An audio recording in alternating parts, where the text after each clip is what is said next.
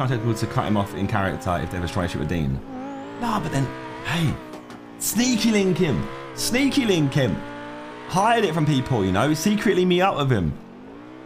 Allow the chance of you getting in trouble. Do anything. There's loads of shit you could do.